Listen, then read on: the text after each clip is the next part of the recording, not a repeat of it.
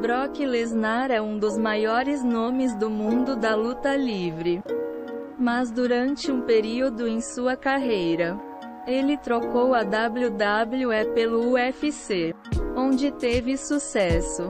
Nos últimos tempos, surgiu algumas especulações sobre o que será o futuro de Beast encarnado após a luta contra a WrestleMania 39. Em uma entrevista ao The Spam, Dana White foi questionada sobre uma possível luta entre Brock Lesnar e John Jones e, eventualmente, envolveu a hipótese da WWE Fighter para fazê-la voltar ao UFC.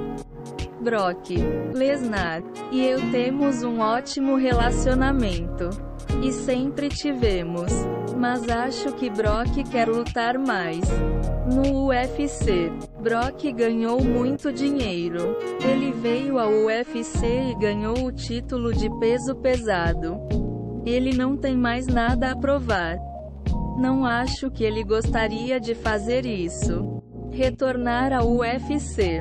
A última partida de Brock Lesnar no UFC ocorreu no UFC 200 em julho de 2016, onde ganhou Mark Hunt.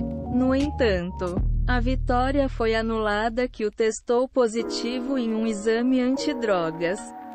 Você gostaria de ver Brock Lesnar novamente no UFC ou seu futuro passaria apenas pela WWE?